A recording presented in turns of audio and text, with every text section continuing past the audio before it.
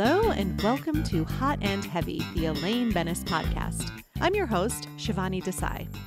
Today I'll be talking about season 5, episode 9, The Masseuse. Hello, everyone. I hope everyone's doing well. It's almost Halloween. Uh, I love Halloween. I don't know how you guys feel about it. I know I know there are people out there who like passionately hate Halloween.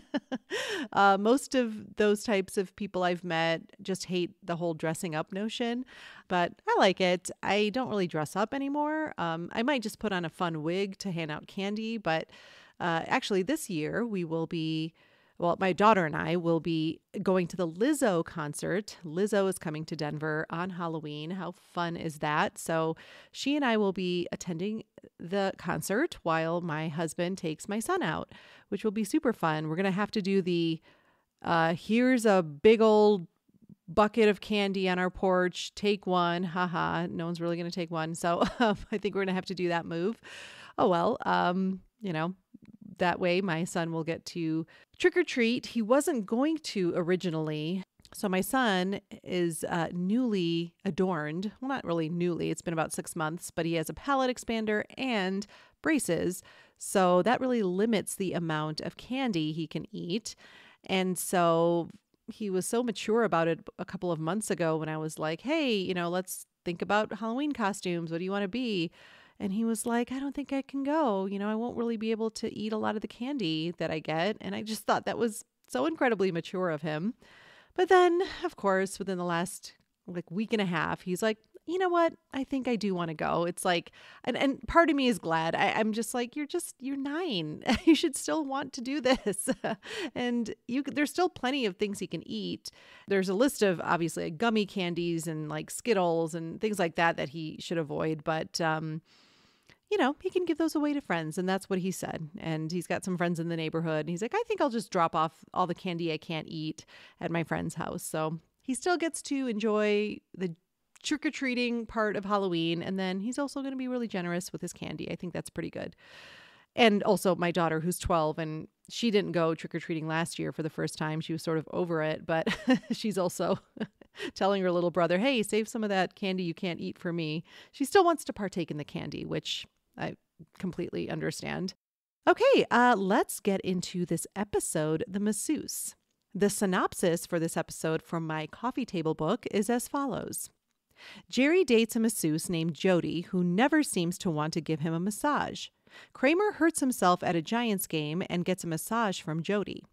George loses his girlfriend after he becomes obsessed with the fact that Jody despises him. Elaine's boyfriend has the same name as a serial killer, Joel Rifkin, so she asks him to change it. This episode was written by Peter Mehlman. Okay, so already this synopsis is inaccurate in one of the statements here. Kramer hurts himself at a Giants football game and gets a massage from Jody. That's not accurate, guys, but that's no surprise. Par for the course when it comes to these synopses. I don't know who the heck was writing them. All right, we start out in Elaine's office. Elaine and Jerry are on the phone. Jerry is telling Elaine that eight years is nothing to not have vomited. He hasn't vomited in 13 years. June 29th, 1980 was the last time he vomited. And before that, he vomited on the same day, June 29th, 1972. He couldn't believe it. Elaine is pretty impressed, and she was wondering if her boyfriend Joel was normal since he hadn't thrown up in eight years. Jerry's like, Don't worry, Elaine, your boyfriend is normal. He just happens to have the same name as one of the worst serial killers in the history of New York City. Uh, a couple of colleagues stop by Elaine's office, and so she hangs up with Jerry. The actress who plays her coworker is Lisa Pescia, and we will see her in a few more episodes as Elaine's friend slash colleague. And most recently, she's been in Hacks, which is a fantastic show. I highly recommend it. And uh, I think she's good. I, I like her in this uh, little scene with Elaine. Well, anyway, she and a male coworker say, Oh, we just saw your boyfriend at a bus stop. What's his name again? Joel. Joel what? Uh, Rifkin? I can't do it. Of course, I can't do it. JLD does that so well. He, she's trying to just kind of muffle the sound of his last name. Rifkin, they say. And she says, Well, yes, but it's just a coincidence, obviously. Oh, you better stay on his good side, they say. Elaine's kind of humoring them. Very funny. Okay. I wouldn't sleep with my back to him if I were you. Okay. Okay. That's enough now. That's enough. And then they keep going. The coworker says, If you smell anything decaying in the back of his car, well, that's it. Elaine loses it. She says, Hey, that's my boyfriend we're talking about, and he's a gentleman. He's good looking, he's a good shaver, and he hasn't thrown up in eight years, so just shut up about him. You shut up. oh, funny. My take on this scene, I think it's a really good setup scene we find out Elaine's storyline right up at the top. And the whole Joel Rifkin thing kind of comes out in natural conversation with Jerry. It's a tad expositional with Jerry's line about how he has the same name as one of the most dangerous serial killers in New York, but eh, I'll forgive it. I, I like the conversation leading up to it about vomiting because I just feel like this is what these people talk about. It's a show about nothing. And of course you'll you'll talk about vomit streaks. Why not? I love an Elaine snap, the way she just snaps at her coworkers and the way it keeps heightening. She's trying to be so polite, but we see it escalating. First, she's all very funny, and then, okay, that's enough, still smiling, still sort of laughing along. And then, boom, she's had enough. It's so wonderful. And I love the physical part of it too the way she launches out of her chair and she sort of shoves them out with her yelling at them in their face and just it's it's so great. The pointing so well done. All right next we're in jerry's building. Elaine and jerry are walking to his apartment and she's just oh she's lamenting to jerry about how she's dating a joel rifkin while the whole city is talking about this monster joel rifkin and Jerry's just like, well, ask him to change his name. she can't do that. Well, would you change your name if someone asked me nicely? Kramer enters. Elaine asks, well, how many people did Rifkin strangle? 18. 18 strangles. Kramer has a theory. Rifkin was adopted, just like Son of Sam. So apparently, adoption leads to serial killing. then he exits on that thought. Elaine tells Jerry that she and Joel have an extra ticket to the Giants game. Kramer immediately enters and says he'll go. Elaine says she'll leave a ticket for him at will call. And Kramer is so excited and exits. Uh, Elaine has second thoughts. Oh, maybe she should have asked George. And that reminds Jerry to tell her that George got back together with Karen.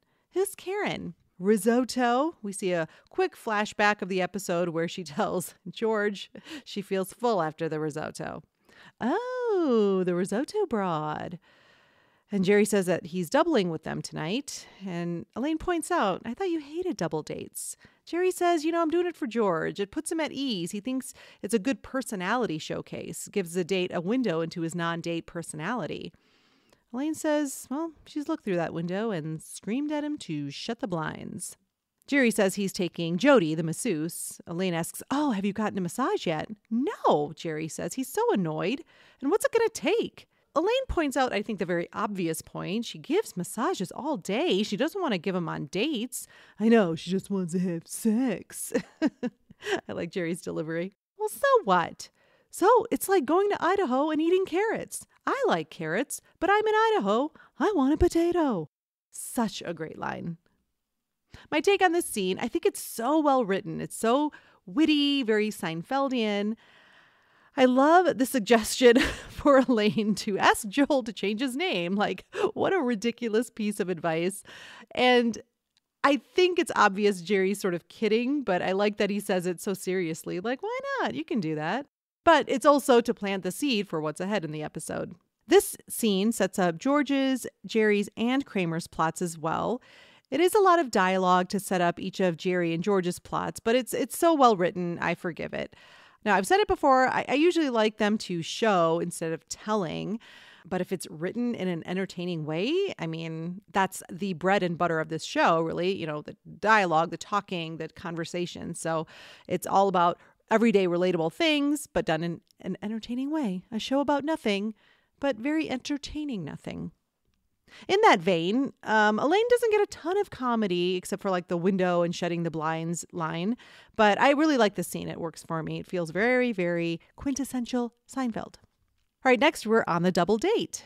George is so in his element. You can just tell he's relaxed. He's telling this story about being in a department store and the saleswoman is wearing this really low cut top. And George says that he asks her, When you put on a top like that, what's your thought process? I mean, Karen is eating this up. Risotto Broad is loving this, I think, more than the risotto. That is so funny. That is so funny, George. She is just beside herself, laughing at everything he's saying. Meanwhile, we see Jerry's girlfriend, Jody, just blankly staring and listening. She's not enjoying the story, and you can tell. And George even asks, uh, Are you hearing this? Yeah, I heard you, she says. Well, the actress here, we have the brilliant Jennifer Coolidge, who I'm sure so many of us recognize. Uh, maybe from American Pie, Legally Blonde, the Christopher Guest movies like Best in Show or For Your Consideration. And she actually just recently won an Emmy for her portrayal in The White Lotus. And then I actually just finished the series on Netflix called The Watcher, which she is also in. Uh, well, it doesn't matter what you know her from. Chances are you absolutely love her. Um, and it's eh, because she's so brilliant, so hilarious.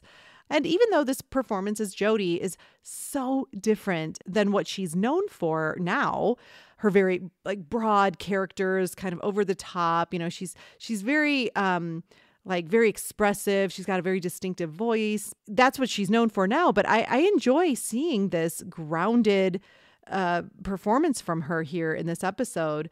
Uh, she gives just such a perfect level of disdain for George. She does so well opposite Jason Alexander here. And it's just a treat to see her. And this was her first televised role. I think that's pretty amazing. I did do a little research. I was wondering if she ever talked about, after gaining, you know, such notoriety and fame, if she ever talked about being on this episode. And she sure did. I thought this story was actually really cute. She talked about how she got the audition. And by this point, Seinfeld was super popular. So she was very excited to get the audition. She was a member of the Groundlings, I should mention, out in LA. So that makes sense that she got this audition.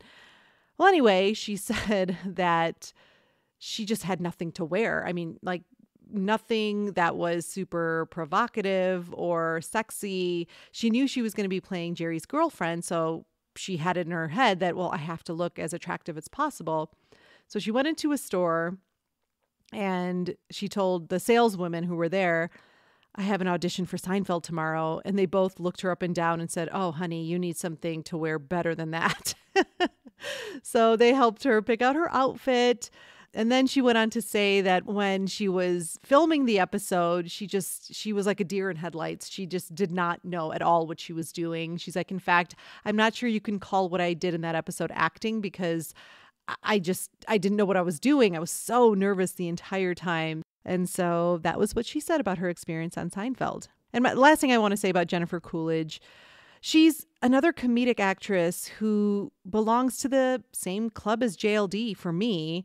She will look idiotic for the sake of comedy and without worrying about her looks her femininity it's it's not about that it's about getting the comedy across and that's what I fucking love about her and JLD and many other uh, comedic actresses out there. But I did want to mention that, yeah, she's in that same club for sure.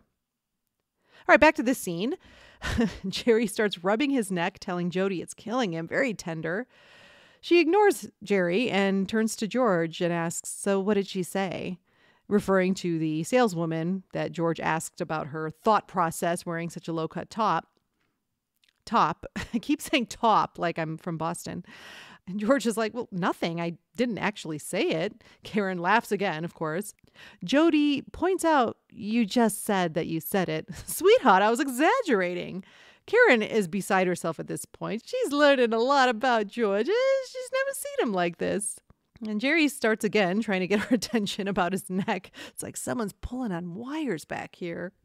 Uh, that one gets me every time. I don't know why. The pulling on wires line just strikes me as so funny. We will say it, my husband and I will say that if we um, have like sore necks or something, which unfortunately is happening a lot, but that's a whole other story. Uh, George then continues on with this very sexist train of thought. You never see a really attractive woman getting a traffic ticket. Jody says, Well, that's absurd. My sister got a ticket last week. Are you saying she's not attractive? Well, I've never met your sister, but obviously these are not hard and fast rules. Uh, darling, uh, the, the tea's getting a little cold, sweetheart. There's something so douchey, and it's so well played by Jason Alexander here. I just it's just like the douche meter is like on level red for me whenever men call their servers or female servers uh, dear or darling or sweetheart. Like i don't know why i mean it, i know they're terms of endearment but for me it's just like ugh, don't do that. I had a friend a coworker who did this and he was a young guy like he was like a couple years older than me and this was back when i was in my 20s still and he would call so i'm talking about like a 27 year old man calling his female servers dear. He'd be like, "Thanks, dear. Okay, dear." I'm like, "What are you doing? Stop it. Stop it." Jody's had enough. She turns to Jerry and asks to leave. So they get up to leave and say their goodbyes. George tries to go in for a hug and kiss with Jody, but she avoids it and awkwardly shakes his hand instead. Next, we're in Jerry's apartment. Jerry and Jody are hanging out, and Jerry is not giving up. I mean, he is really putting on the pressure, no pun intended, telling Jody how he strained his neck by trying to brush his teeth by keeping the brush still and moving his head from side to side. But Jody isn't taking the bait. Instead, she's still so distracted by George and just his behavior. Jerry, as she's talking about how how disgusted she is with George, puts her hands on his shoulder, and then that didn't work either, but she does make a move. She starts kissing his neck, and Jerry backs away. What are you doing? What do you think I'm doing? He rolls his eyes. No massage yet again. Next, we are back at the restaurant. George and Karen are still there. And Karen is pretty turned on by George's performance. You can see it in her demeanor. She's ready to go and get some action. But George is eh, he's distracted. He's sort of fixated on how cold Jody was to him. He definitely picked up on something, especially the second time he sent the noodles back. I thought that was such a great addition to the scene. Like, oh god, he's one of those guys. Karen is not interested in this and she wants to get on George fast. but George won't quit. So you think she liked me? Karen drops her head in frustration. Next, we're at Elaine's apartment. Yay, an Elaine scene. We see Elaine on the couch reading, I think, a Sports Illustrated, some kind of football magazine, maybe, and Joel coming up behind her with his hands extended. He puts his hands on her shoulder and scares the shit out of her. What are you doing? Massaging your neck. Elaine relaxes. Oh, massaging. Joel asks if she's boning up on football and joins her on the couch. She uses this as a way to discuss names. She notices a lot of players are named Dion these days. What a cool name. If I were to change my name, I think I'd go with Dion. Joel kind of looks at her funny. Dion Benes? She says, Well, as a woman, it makes no sense. Um, hello, Elaine Dionne Warwick. Come on. But she says, if I was you and I decided to change my name for no reason whatsoever, Dion Rifkin. Wow, that is so cool. Eh, he's not so sure. Okay, Elaine says, uh, maybe you're not a Dion. She looks back into the magazine. Oh, oh, she gets so excited. OJ! She loves it. OJ Rifkin, please change your name to OJ, please. She's totally in his face. He's so confused. What's going on?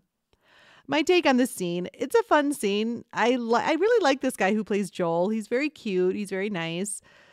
And I mean, obviously, I have to point out the irony of Elaine fixating on the name OJ for Joel to change his name to. And this is, I looked it up, just nine months before OJ Simpson was arrested for literally one of the most infamous murders of the century. Just what a crazy coincidence. I I like we get another Elaine snap here. She's not angry, but it's just excitement and gets in Joel's face about changing his name. And and that's just to me indicative that she's not getting over this. She can't accept it. So she's just like, "Come on. Come on. Let's just just do this, please." All right, next we're at Monk's. Jerry and George are sitting at a booth and Jerry isn't very excited about the sex he had with Jody. Not that it wasn't fabulous, but he wants the massage. George, on the other hand, clearly wants to talk about the double date, saying, Oh, they all had a good time. Everyone was very pleasant. And he asks Jerry, What did Jody say? She said she had a good time. And George accepts it. Okay, what? She had a good time. Great. And then Jerry hesitates with his agreement in that, and that's all it takes. George knew it. She didn't like me. Jerry confirms, no. What were her exact words? I do not like him. and George, of course, is so offended. All right, next we're back in Jerry's hallway. George is saying that Jerry eh, is not right about his vomit streak. He vomited in 87. No, no, no, no. That was the dry heaves. They see Jody in the hallway with her massage table, and George is laying it on thick with a big, hey! Jerry asks what she's doing there. Oh, she just gave a massage to Kramer. Oh, Kramer. Jerry does not like that. But anyway, she's got to run. And then George insists on helping her take her table downstairs. This is what I do. she's, of course, not excited about this at all. Kramer comes out into the hallway and Jerry is so annoyed, yells at Kramer, I haven't even gotten a massage from her yet. Well, buddy, you don't know what you're missing, he says. We cut to Jody and George on the curb, and he's just, oh, he's just trying so hard, bragging about his cab hailing technique. It's so cringy. The cab pulls up, he helps her and tells her to say hello to your sister. I love this response. You've never met. Well, he does. It doesn't matter. He still wants her to know. He says hello. He's running alongside the cab at this point. He bets her sister is a knockout. Back in Jerry's apartment, Kramer is describing what the massage was like with Jody. Jerry is getting increasingly mad. And finally, he tells him that the massages are out, Kramer. All right, next we're at the Giants game. Elaine sees that Joel has photos in his wallet and that that's very normal. You're totally normal. She asks about a photo and he says, Oh, that's my mother. Oh, yes, I see the resemblance. No, th- there's no resemblance. Elaine, I'm adopted. Uh oh. You know, Elaine's thinking about Kramer's adoption leads to serial killing theory. And then we cut to will call. Kramer doesn't have his ID, and that's a problem. Only the person who left the ticket can confirm that he is actually Kramer, and that's his ticket.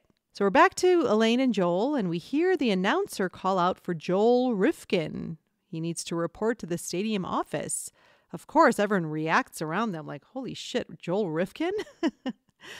and then Joel says, Who could be calling me here? And they all kind of look at him. Oh, they're horrified. And Elaine says, Hey, he's not the murderer. I like this scene. Um, I think this is a great tie in to what Kramer said, obviously, with Elaine, I'm adopted yeah, it's just a really fun scene. It's kind of short, but I love JLD's delivery. He's not the murderer. just again, still trying to be so pleasant, even though this is not a great situation. All right, next we're at Jerry's apartment. Kramer enters all stiff from the Giants game, the unforgiving seats, and then he dove over some rows to catch a ball. He tells Jerry, you know, I need a massage and that Jody's the best. I don't want to go with anyone else. And that's it. Jerry is determined to get a massage. Next, we're at Monk's. George and Karen are at a booth. George is still bitching about Jody and how rude she was to him, even though he helped her with her massage table. Karen is so over this. She says she's getting really tired of hearing about her. What, what do you got a little thing for her? George says, "No, I mean she's dating my friend. It's it's courteous to get along." And Karen says, "Well, so what if she doesn't like you? Does everyone in the world have to like you?" and Georgia says, "Yes." All right, next we're at Elaine's apartment. Elaine is sort of comforting Joel on the couch. She totally supports his decision to change his name. And really, what convinced him was the experience at the Giants game, and he needs to make a change, he says. Elaine does say, though, she was willing to stick it out with Joel Rifkin. So they each have a list of 10 names, and they can veto the other if they don't like it. Joel starts with Stuart. Elaine vetoes. Oh, you don't like Stuart? I've never met a normal guy named Stuart. Todd. Veto. Then Joel's like, well, I think you're really going to like the next one. Alex. Oh no, Elaine has a bad association with the name Alex. Apparently, a guy in college who sat next to her would always go, ah, after sipping his coffee. And uh, yeah, she couldn't she couldn't take it. She had to drop the class. All right, my take. Uh, this is a very fun scene. I I love that Elaine totally lies through her teeth about sticking it out with Joel Rifkin. She's saying this because now he really wants to change his name, so it's okay for her to say that because it's going to change anyway. And the whole 10 names thing, what a fun writing device that it, it's sure to be funny. You can do so much with just saying a name and then having a reaction to it. And that bad association with the name, how relatable is that? um, I I have my own.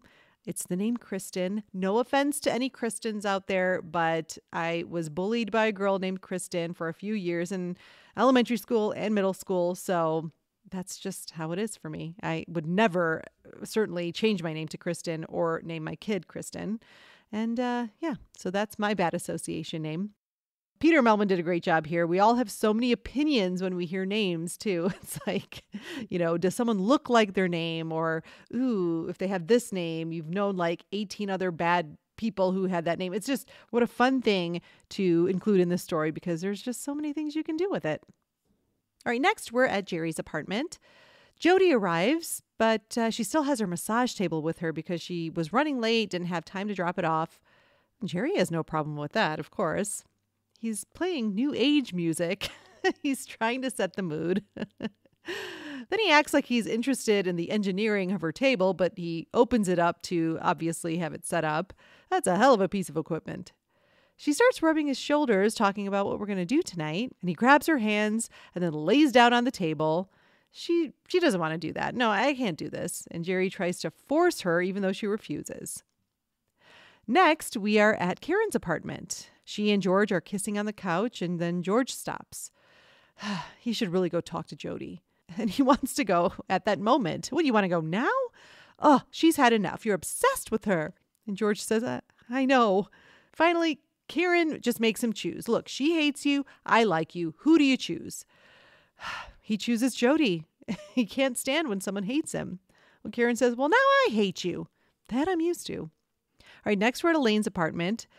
Joel and Elaine are still discussing names, but it's getting a bit tense. She suggests Ned. Ned? Ned's a guy who buys irregular underwear. Next. Elaine suggests Ellis. Oh, well, that's just like Alex. Elaine says they're totally different, not even close. He says, Next! Oh, what's the point? No, come on. And she takes a deep breath and says, Remy. Remy Rifkin? Should I get a beret? Oh, Stuart's a lot better. Little Stuart Rifkin likes to go shopping with his mother my take on this scene i love that the continuation of this scene of them going over names it like jumped in time and we're obviously in this tense vibe the name exchange obviously isn't going well and I love the way Joel reacts to all the names Ned, Ellis, Remy. Really, really funny performances by both actors here. And this is another instance where Elaine gets so overly upset and like digs her feet in with a boyfriend. Last time it was with Jake Jarmel and the exclamation point. And look, a new name is definitely more significant than punctuation, but I love how passionate and stubborn Elaine gets and then has to insult him with the Stuart thing. ah, but that's what we love about Elaine. Even though even if she's being totally illogical, totally ridiculous, it's the way JLD performs it, it just makes it so entertaining. All right, next we're back in Jerry's apartment after he tried to forcibly get her to massage him. And Jody says, Look, no means no. Jerry accuses her of being a massage tease. I mean, look, she came over with her table and her little oils. And she tells him, Look, I don't submit to forcible massage. But Jerry tries again, takes her hands and tries to get her to massage, and she just pushes him away, tries to leave, and then George enters. Well, he confesses that uh, this woman hates me so much. I'm starting to like her. It's irresistible. Jerry can see that. Jody just can't believe how incredibly insane these two are and leaves. George goes after her, but Jerry warns him George, I wouldn't push for the massage. All right, I'm going to take a quick break and I will see you on the other side. Every once in a while, a show comes along that leaves you so fresh and smooth, you almost need to watch it for your own well being. Introducing NBC's newest workplace comedy, Shave Bus. huh? What's a shave bus, you ask? It's like a food truck, but instead of feeding people, we shave people. And instead of a truck, we use a bus. Watch the Rifkin brothers build this family business from scratch while trying not to kill each other. And Joel, you know, he could provide his expert neck massages after each shave. Right, Todd, because rubbing strangers' necks is my dream. Remy, How many times do I have to tell you? Stop stealing my irregular underwear. I will stop as soon as you stop throwing my billets in the trash, Ned. Uh, you're not French. Rifkin men have been superior shavers for generations, and when all seven brothers found themselves hard up for cash at the same time, well, they decided to buy a bus, refurbish it, and drive around offering the best shaves in town. Alex, I've been painting this bus for hours. Can you please give your twin brother a hand? Sorry, Ellis, on a coffee break. But not all the brothers were blessed with the gift of shave. Okay, what are we gonna do about Stuart? He can't shave, he's a terrible driver, and he can barely tie his shoes. I heard that. oh, God, sorry, buddy. Uh, hey, hey, maybe you could play your recorder during the shaves? Tune in to the series premiere of Shave Bus this fall on NBC and be ready to fall in love with the Rifkin brothers. Shave Bus. Close shaves, closer brothers. And we're back. Okay, I'm going to move right into Contributor Corner. There were not very many worthwhile extras, so I'm skipping that this week. All right, Greg sent in some thoughts about the masseuse, and this is what Greg had to say. We get a much more toned down early version of Jennifer Coolidge in this episode. I believe this was her first speaking role ever, and she does an excellent job here playing against both Jerry and Jason. It's almost hard to believe it's her given the voice is so different than what we've become used to. Ah, yes, exactly, Greg. I, this is, she's definitely unrecognizable to what she is famous for now, the the personas she's played and yeah, to your point the voice, I mean everything, all of her attributes that she's known for now, this is completely different. I mean, this this was her very first speaking role and I agree. She does such a great job despite what she says in that interview about not knowing what she was doing.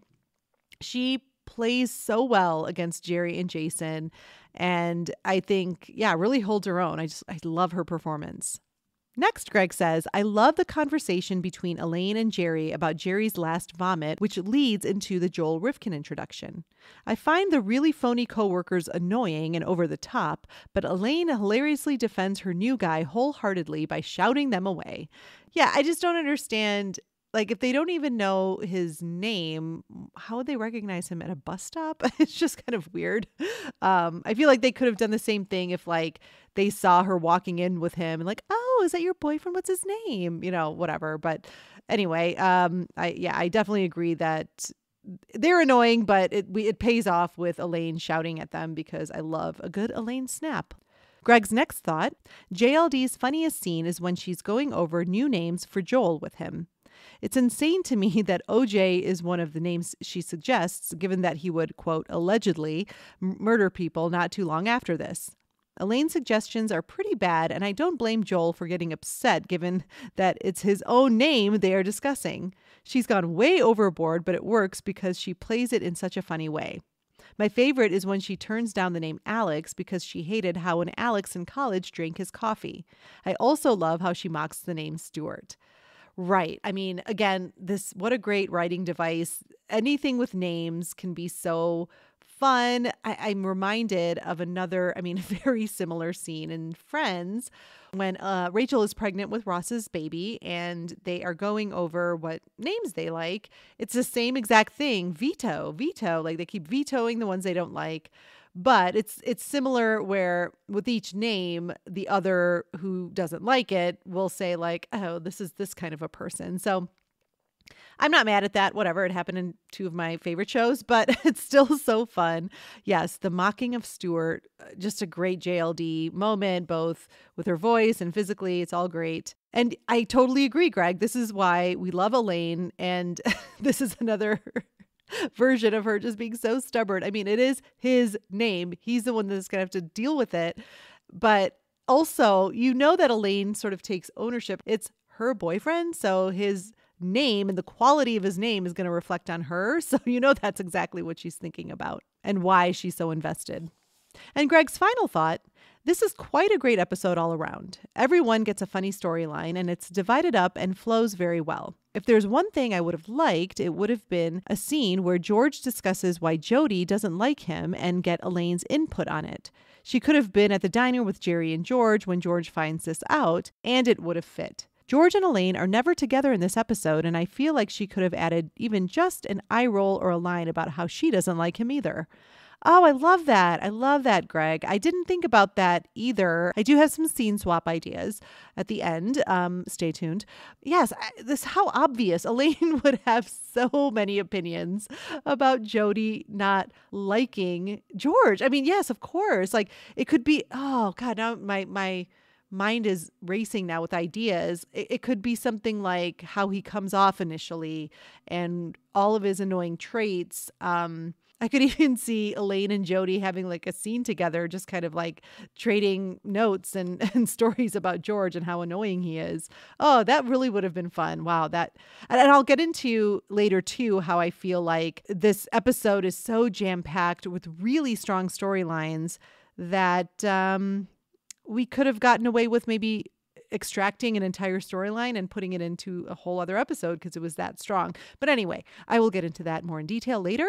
But I do love your suggestion. That is amazing. Elaine would have fit so well in this whole conversation about Jody not liking George. Ah, missed opportunity.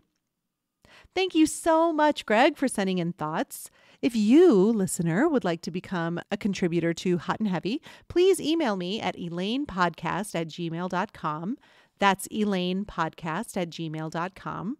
And you will receive emails from me basically saying, hey, I'm starting this episode. Send me notes by this date. And if you do, I might include it in the episode. So it's not a lot of commitment. You participate when you want to and when you can.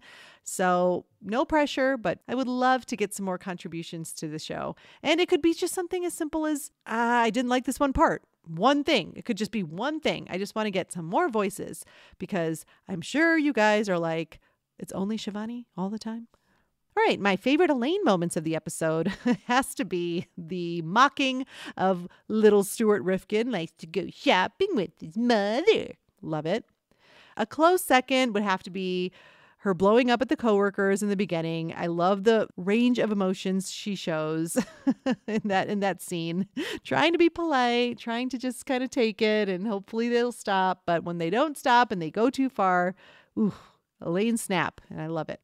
And my final notes of the episode We've gone now a few episodes where Elaine hasn't had the best plots or wasn't utilized enough. I mean, last week was a, the best example of that. Her plot in The Barber was literally just a last minute change from the original plot she was supposed to have in that episode, which also sounded really bad. So The Barber is just a low point for the Elaine character, I feel. But this one, dating a Joel Rifkin, fantastic premise, but I'm greedy. And I think we could have had so much more with this name issue. And uh, I don't know, just some more creative ways to uh, tackle her issue with Joel Rifkin. So, in that vein, my scene swap idea would probably be to trim a little bit off the Karen and George drama. I mean, even though I do love Jason Alexander's performance in this episode is so fantastic, uh, but like little trims here and there. I think also we could probably cut out Kramer getting that massage from Jody. I don't think we needed it so much. I think we could have seen Jerry just getting frustrated even without that, but I can see why they included it as well. Bottom line, I just would have liked another scene with Joel and Elaine, especially because JLD and his name is Anthony Cistaro, who plays Joel. They just had such a great chemistry. So I just wanted to see more of that. So, uh, continuing my thought uh, that I was mentioning when I was going over Greg's thoughts, this episode is full of really strong storylines. And I could even see, like, so strong, I could even see them like plucking one of them out for an entirely other episode. Like, Jerry's girlfriend hating George is so rich with possibilities. I think it could have been easily the A storyline of another episode. Um, and this episode still would have had so much to to tackle. And lastly, JLD, she's got more subdued comedy here. You know, it's nothing over the top, which is fine because uh, she does such a great job with that, too. You know, that scene with Jerry in his apartment, very grounded, more dialogue back and forth. But again, really well done, really well written. She has fun moments here with Joel. So I think, yeah, it's just, she's just at her peak charming, and I absolutely love it. And I think that's all I can say about the masseuse. Thank you so much for listening, and I will see you next time.